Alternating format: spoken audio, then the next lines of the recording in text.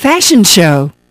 As part of the festive season's entertainment programs at Central Festival Pattaya Beach, the Playboy Fashion Show of 2009 was held on Friday afternoon.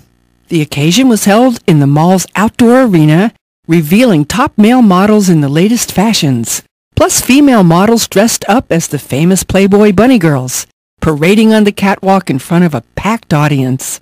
There was also an appearance by the well-known Thai actors Akapun Namart and Arnut Rapanit.